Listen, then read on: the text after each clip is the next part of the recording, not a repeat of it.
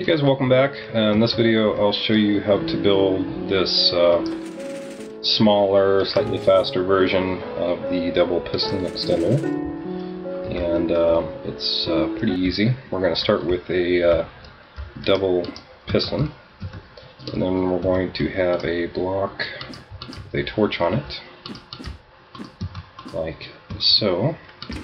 And basically this will um, extend both the uh, pistons at once. Now we need to delay this piston down below so that it uh, retracts after the upper one, so it'll bring down the upper one with it. And the way I'm going to do that is put some dust there, kind of go underneath here, just to get around to the other side, put a little bit of delay, can't quite remember what I was using before, let's try that.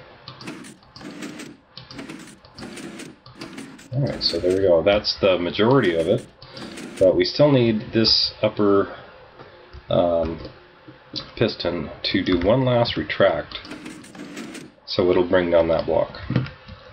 Now, how do we do that? We're going to kind of make a monostable circuit, although it's kind of in a, weird form. And we're going to take power um, from okay, here's where I'm here's where I have the lever right now. We're going to take this power here that's coming down and we're going to send it over to this torch over here and that's going to be acted as the output of the monostable circuit. It's kind of hidden underneath there. So let's uh, do that. Take power there. Run that into a torch here and that's going to go into a monostable or a uh, repeater, excuse me. And then need to get power down below. And here's where the torch is going to be. Right there.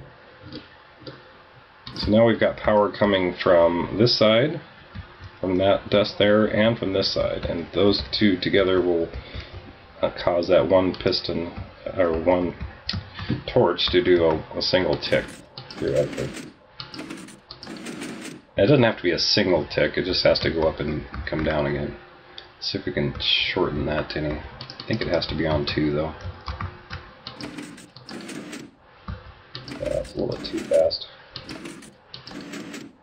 So we'll just add one tick in there. Sometimes that was working for me, I don't know why. But other times I had to have that uh, extra tick in there. So there we go. Three by three by. I don't know if you want to include that part. Three.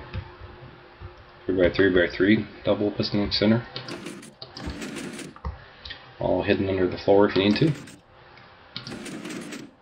Thanks for watching. See you guys.